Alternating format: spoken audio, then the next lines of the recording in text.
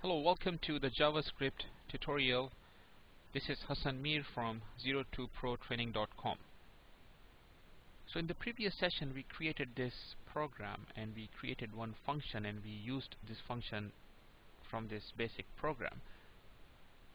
We learned that function is a black box. You pass one or more values to a function. You may call a function without a value too, but uh, usually you would create a function that would expect some values to come in and each function would be called based on the values it is expecting. The function we created was expecting two values so you must call this function with those two values going into that function as argument.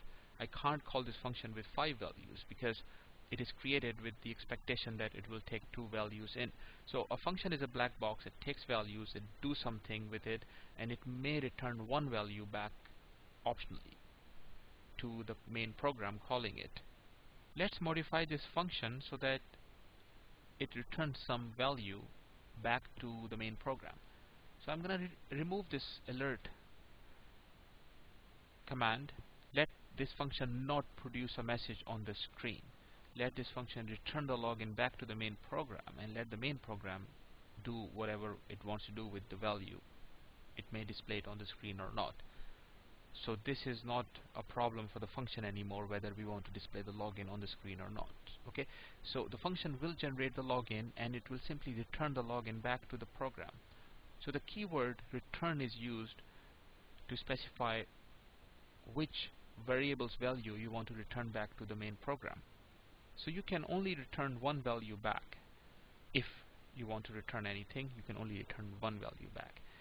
Now, if a function is written in such a way that it is returning some value back, then you can't call it like this. You have to place the return value in some variable. Okay, so you have to equate the function call of the function on the left hand side to some variable so that whatever function returns it goes in in some another variable.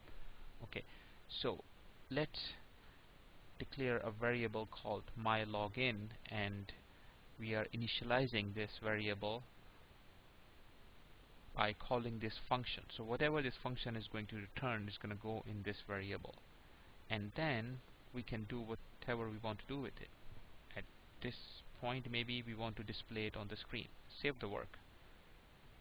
So let's test the program by running the page.html we should ex expect exactly the same output that is login ID displayed on the screen as you can see Hassan 10 but this time the alert message is not coming from within the function. It is coming from the main program body